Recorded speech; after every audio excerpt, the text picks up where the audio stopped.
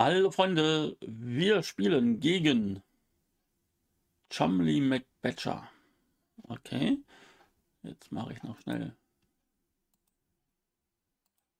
So, da. 2, 2, 53. Man sieht's, jawohl, wunderbar.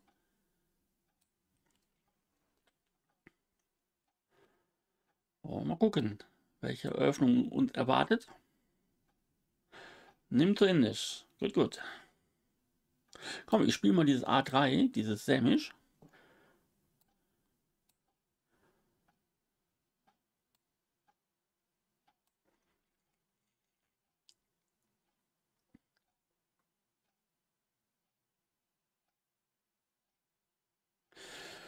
Okay. Ähm, baue ich mich jetzt hier mit Laufer D3 und F3 Springer E2 auf.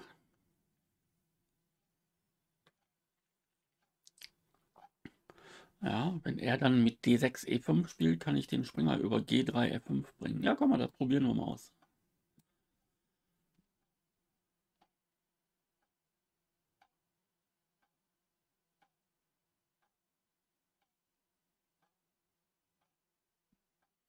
Mhm. Ja, machen wir erst den.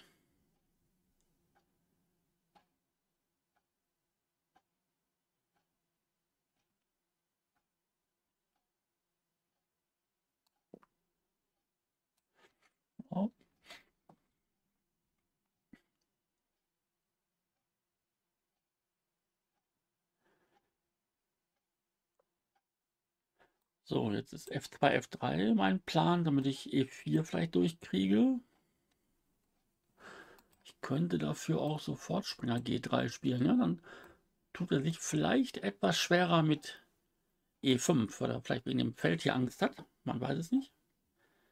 Außerdem habe ich vielleicht die Option für Dame E2, falls er mit Springer C6, Springer A5, Laufe A6 hier noch auf diesen C4 geht.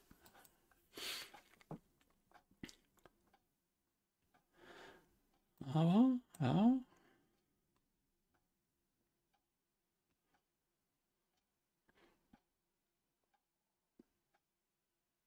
Der Nachteil ist natürlich immer jetzt so ein bisschen der Druck hier auf den D4. Ich kriege kein E4 durch.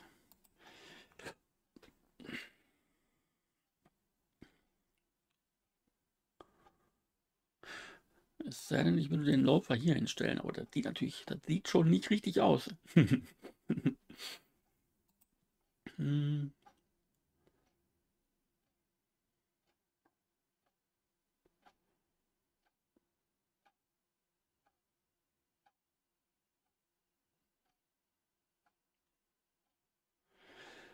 Was ist denn mit F4, F5? Aber dann spielt er E5, ne? Dann habe ich das Feld hier nicht mehr.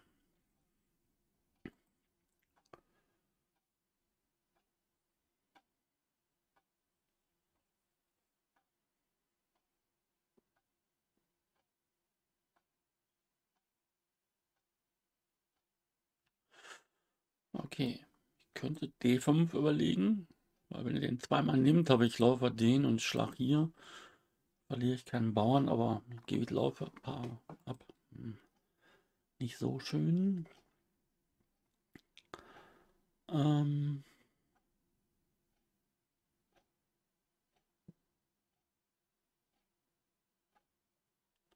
Was ist denn mit E4? Wenn er dann hier zweimal schlägt, Springer schlägt, dann Läufer B2. Dann ist dieser Läufer hier schön frei. Der hat doch eine schöne Wirkung. Dann muss er E5, man muss nicht, aber wenn er E5 spielt, nehme ich den raus. E mal D. So, dann kriegt er den hier nie wieder los, ne? weil ich ja hier dann hier zwei Bauern stehen habe. Den D4 muss ich doch irgendwie gewinnen können dann. Hm. Mit meinem Springer zum Beispiel über E2 oder über F5 nach D4. Ich müsste wahrscheinlich nur irgendwie vorher F3 spielen, damit der nicht weg ist. Aber das sieht von der Struktur her, gut, dann bleibe ich mit dem über, aber er mit dem.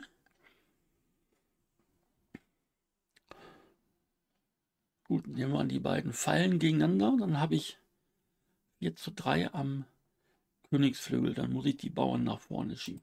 Vielleicht ist das ein interessantes Gambit, Freunde. Und wenn den Springer einfach äh, wegzieht nach Läufer B2, einfach zurückzieht, dann hat er ja nur C6. Dann spiele ich Springer H5 und dann geht schon los, ja.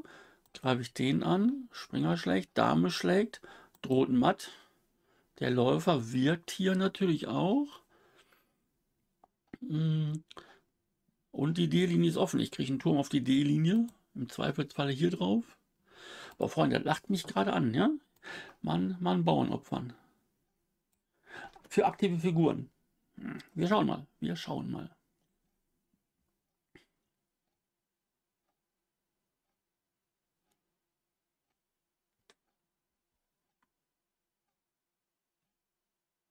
Wobei das mit dem Matt auf H7 ja vielleicht gar nicht stimmt, ne? hm. Okay, er nimmt den ohne groß nachzudenken. Das ist schon mal spannend. Da würde ich ja immer jetzt eine Stunde brauchen, weil ich jetzt einschätzen wollen würde, wie gefährlich ist dieser Läufer auf dieser Diagonale. Wenn ich jetzt schwarz wäre, hätte ich hier echt, keine Ahnung, wie lange nachgedacht.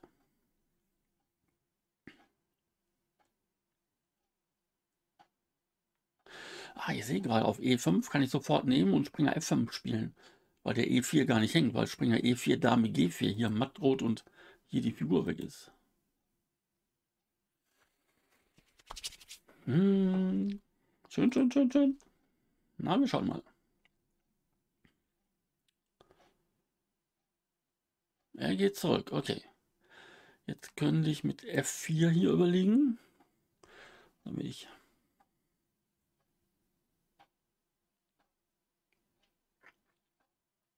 damit ich mal E5 durchdrücken kann. Ne? Mhm, mhm.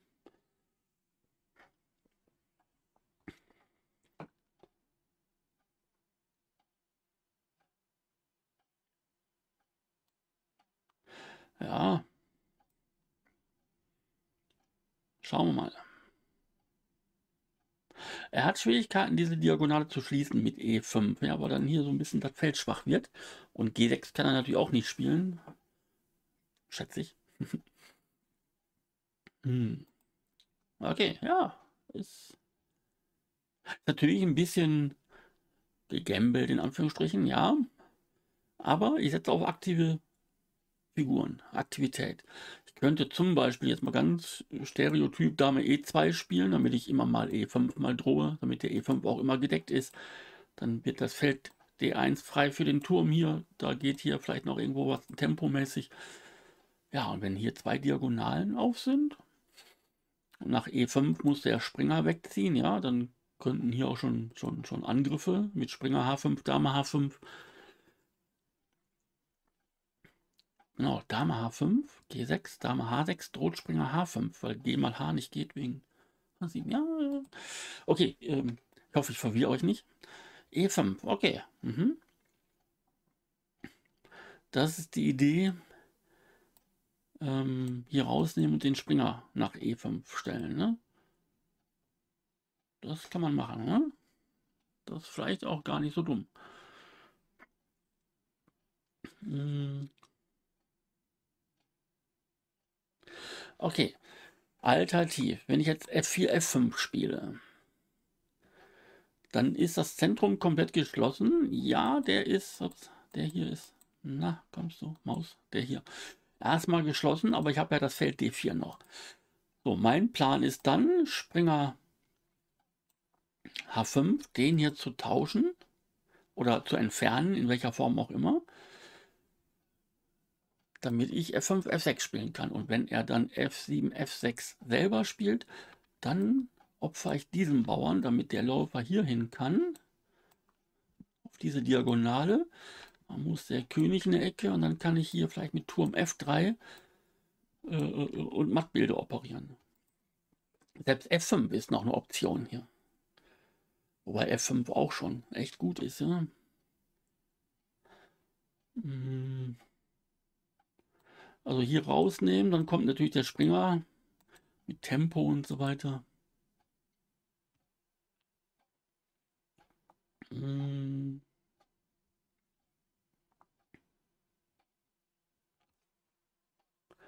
Kann mir nicht helfen. Freunde, ich, ich versuche das mal. Ich sehe jetzt gerade nichts, was so richtig krass konkret dagegen spricht.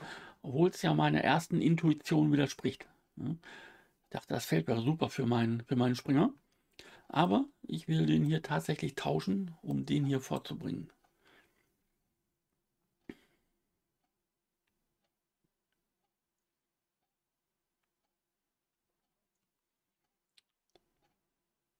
Okay.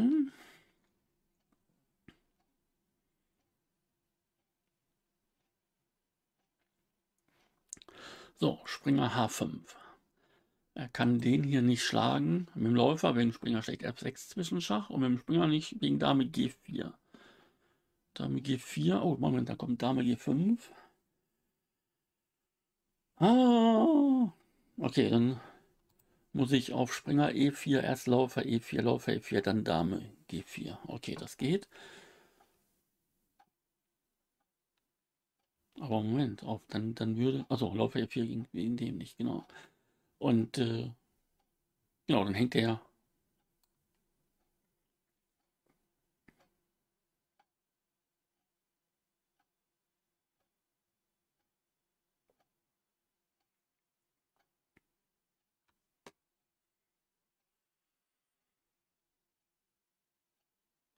Hm.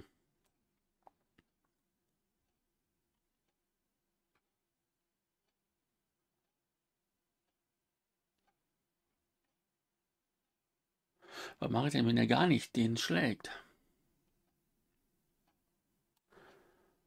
Dann muss ich Läufer C1 und Läufer G5 spielen ja, und ihn da freundlich drum bitten, doch mal zu schlagen.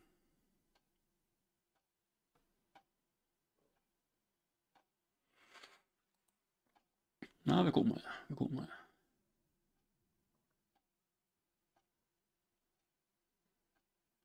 Ist nicht so gelaufen, wie ich mir in meinen kühnsten Träumen jetzt erwünscht hätte. Jetzt müssen wir mal irgendwie gucken, ob wir hier irgendwie kämpfend noch irgendwelche Möglichkeiten finden.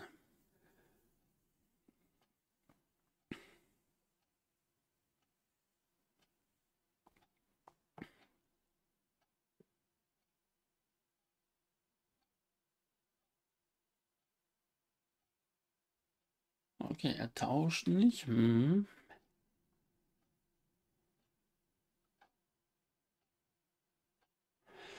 So, jetzt Läufer C1, dann hängt der hier auch noch. Ah, Läufer C1 mit dem Springer schlagen kann er, glaube ich, nicht, ja? wegen Läufer G5. Das sieht nicht gut aus für ihn.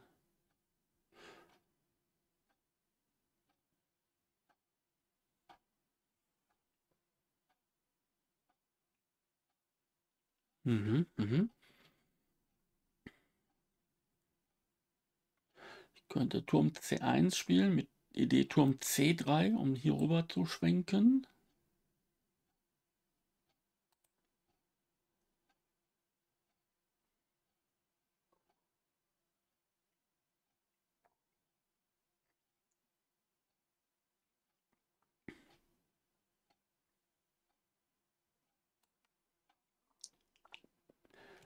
Ja. Vielleicht nicht so gut, den jetzt schon sofort abzugeben. Ne? Vielleicht ist das hier eine Option mit Turm C3 und dann Läufer C1. Okay, ist nicht so gelaufen, wie ich wollte. das ist halt, wenn man, wenn man zu kreativ spielt ja, und ähm, seine Chancen überbewertet. Ne? Das ist. Äh, aber das gehört ja dazu, dass man Taktik üben will. Und dann gehören auch mal Misserfolge zu. Das ist äh, kein Problem. Wir schauen mal, ob vielleicht noch was geht.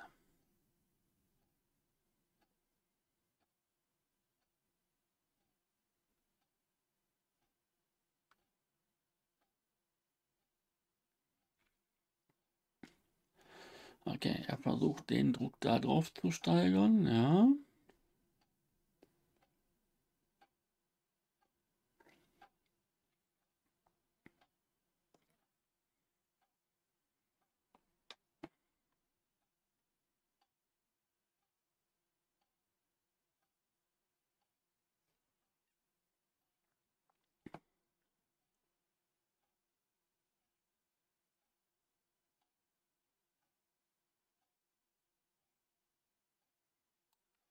Dann decken wir den, ne? Ah, läuft nicht so wie geplant. Immer wenn er jetzt hier irgendwie auf H5 schlägt, ich meine, schlage natürlich zurück, aber dann kann er vielleicht nicht sofort hier schlagen, weil ich ihm noch F6 drohe. Dieses Tempo nehme ich zumindest nochmal mit,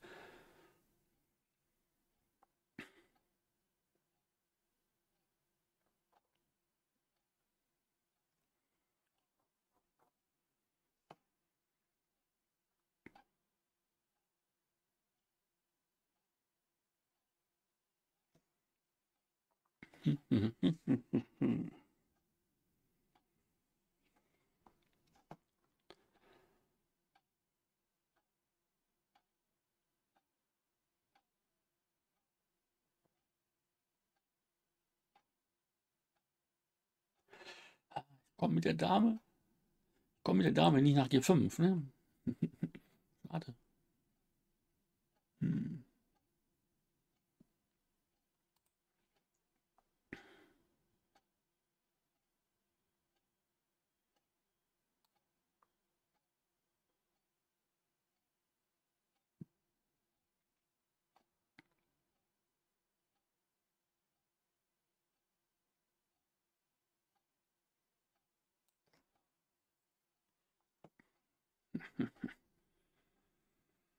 Punkt C3, Springer D4 wollte ich jetzt nicht.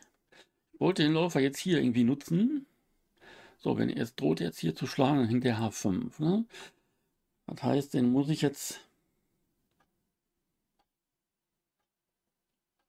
komplett wegziehen.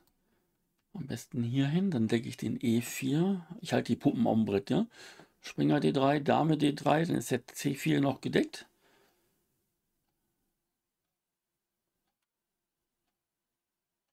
Vielleicht komme ich noch zu Läufer C1 oder A4, Läufer A3. Ja, ist alles nicht. Komm, wir müssen spielen. Praktische Entscheidungen treffen.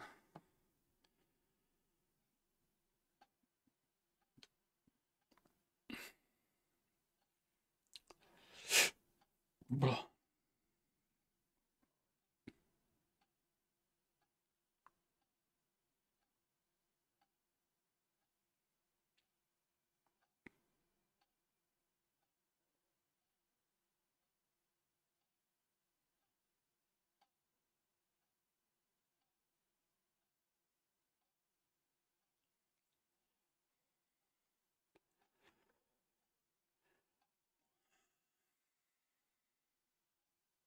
Also wenn ihr den Springer wegzieht jetzt, ja, also ich opfer diesen Bauern dann jetzt tatsächlich dann immer, um, um hier irgendwie auf der F-Linie oder irgendwo irgendwas, irgendwas zu kreieren. Okay.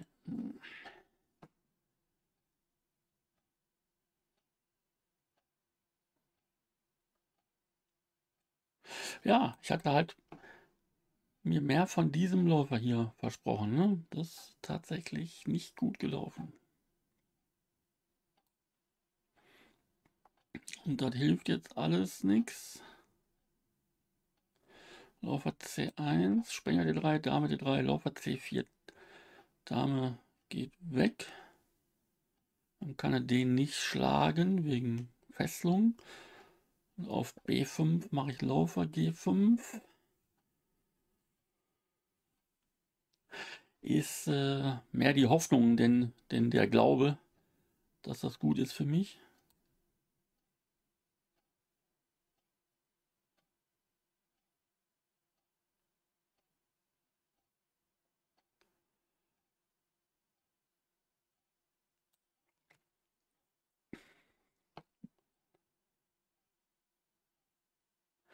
Dame C5 habe ich Läufer E3 mit Tempo.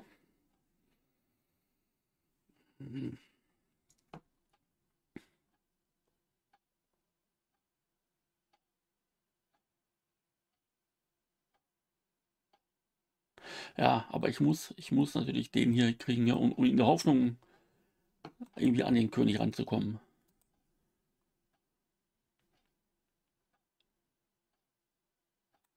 Wenn ich jetzt so spiele und so, ist das sehr, sehr passiv. Ne? Dann habe ich schon einen Bauern weniger. Das sieht nicht so erfolgsversprechend aus.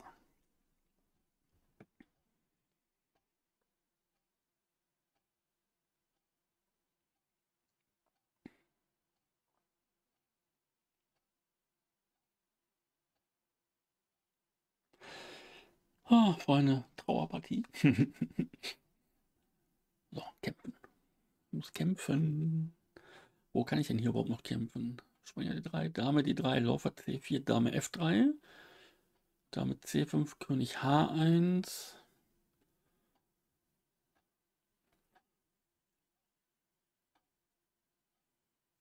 B5, Läufer G5.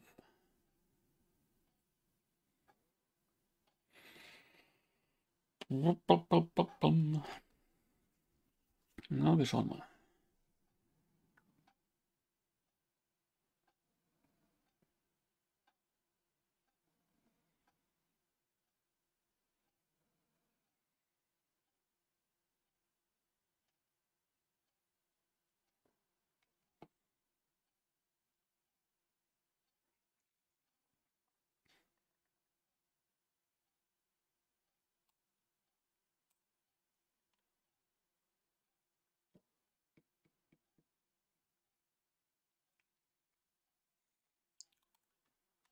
Okay.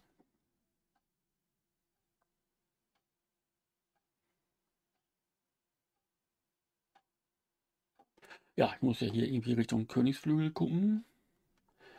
Damit C5, König H1. Kann er dann auf F1 nehmen. Turm C5, Turm C5, Dame F1, Turm FC8. Ah, der fällt auch noch. Eieieiei, ich glaube, zwei Türme sind besser als die Dame. Uh.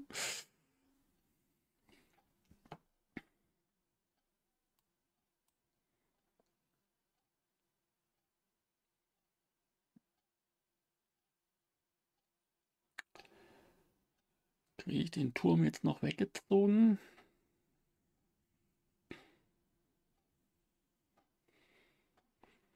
Wenn ja, wohin? Hier hin. Der droht. Der vielleicht.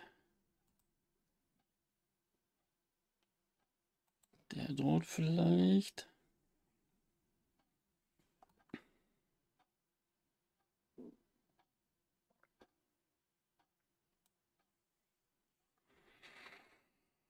Hm.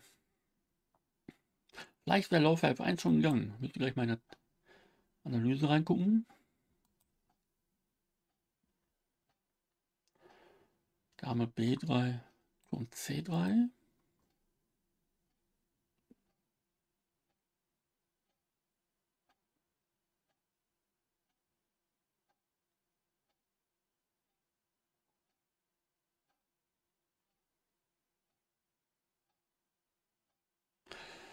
Ja, auch sehr gut.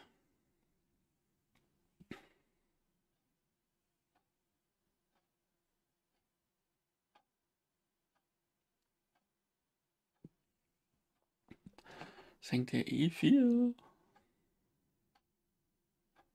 Nicht gut.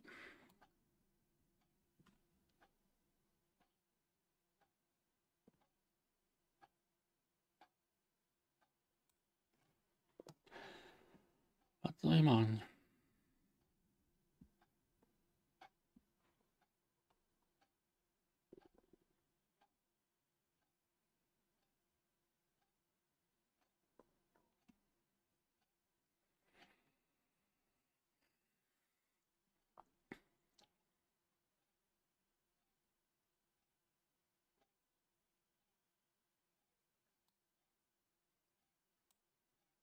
Mir fällt überhaupt nichts ein. Furchtbar.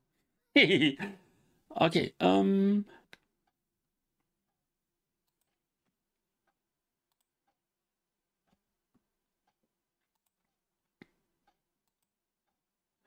So, bis hierhin ganz normales nimmt zu Indisch. So, jetzt mal im gucken.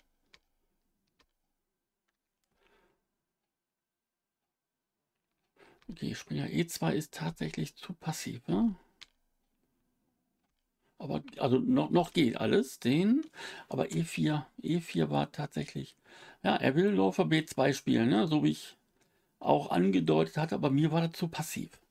Okay, mal gucken, ob dieses E4, er nimmt natürlich diesen Bauern und geht zurück. F4 ist auch gut. E5, so. Hier muss, also F5 war wahrscheinlich jetzt einfach, einfach zu langsam und zu schlecht.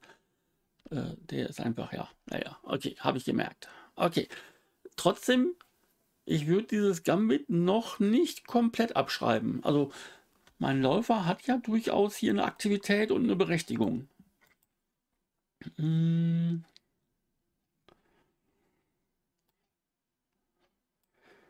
Machen wir mal so, wie der Computer jetzt erstmal will. Den. Dann habe ich vielleicht mal den Turm hier in irgendeiner Form zur Verdopplung und ich halte mir das auch offen. Wenn er jetzt hier irgendwann jetzt oder später schlägt, das war der Grund, warum ich es hauptsächlich nicht gemacht habe. Jetzt kann ich mit der Dame zurückschlagen. Und ob Springer da, jetzt droht schon der. Müssen wir mal gucken. Was will die. Was will uns die Engine hier sagen? Ah, den. Doppelangriff, dann fällt der. Und dann habe ich diesen Läufer hier. Hm? Okay. Mhm. Aber guck mal, Freunde, so schnell kann das gehen. Jetzt habe ich doch genau die Aufstellung, die ich doch eigentlich haben wollte. Und Schwarz muss taktisch aufpassen. Boah, vielleicht war das, also war natürlich jetzt nicht, nicht die Weltneuerung oder so, aber vielleicht, vielleicht war das gar nicht so schlecht. Ich darf nur nicht F5 spielen. Da hatte ich eine falsche Idee. F5 war die Idee Springer H5.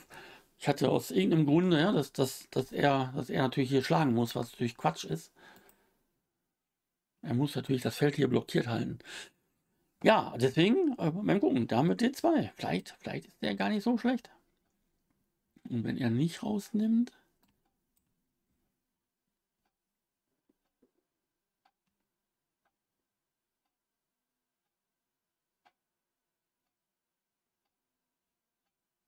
Hm.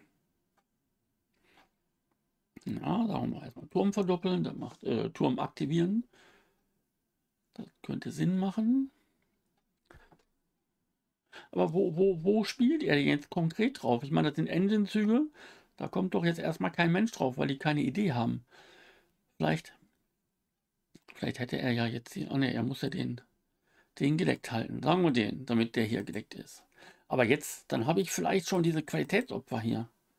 Mal gucken. Ja, da haben wir schon. Juhu, ich wusste doch. Und dann Springer F5 und Dame hier und dann gib ihm und so. Ja, ja, ja.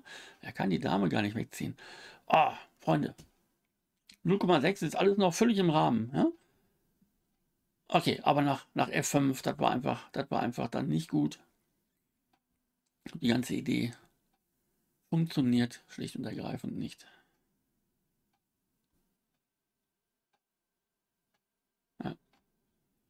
Hier.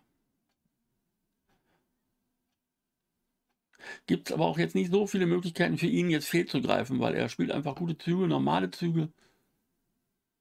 Naja, hier ist nichts. Okay, ähm, trotzdem nochmal eben nochmal merken, also A3, den den und auf C5, B6 spiele ich den mit Läufer D3, Springer E2 und dann spiele ich dieses Kampf. Probiere ich nochmal aus. Wenn ich es nochmal aufs Brett kriege, okay, äh, aus, aus Niederlagen lernt man ja. Aber ich ich finde es nicht so schlecht. Da muss ich mir nochmal angucken. also, verloren ist verloren. Ich sage trotzdem Danke fürs Zuschauen. Bis zum nächsten Mal.